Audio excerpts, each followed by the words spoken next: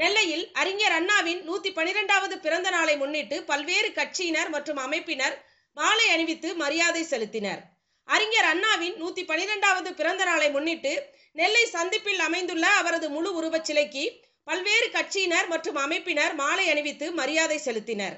அம்மா மக்கள் முன்னேற்ற கழகம் சார்பில் நெல்லை மாநகர் மாவட்ட செயலாளர் பரமசிவ ஐயப்பன் தலைமையில் அண்ணாவின் முழு உருவச் சிலைக்கு மாலை அணிவித்து மரியாதை செலுத்தப்பட்டது.